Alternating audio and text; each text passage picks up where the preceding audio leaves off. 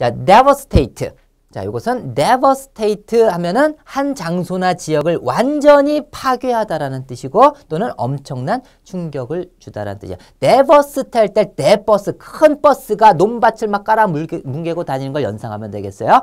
devastate, 큰 버스가 막 깔아 뭉기고 즉 한 장소나 이걸 완전히 파괴하다, 황폐화시키다라는 뜻이야. 파괴하다, 황폐화시키다. 또 엄청난 충격을 주는 거죠. 이 농부한테. 그죠? 예, 충격받은 표정이잖아요. 그래서 엄청난 충격을 주다, 파괴하다라는 뜻이에요. devastate. 같이 해볼까요? devastate. 다시 한번 devastate.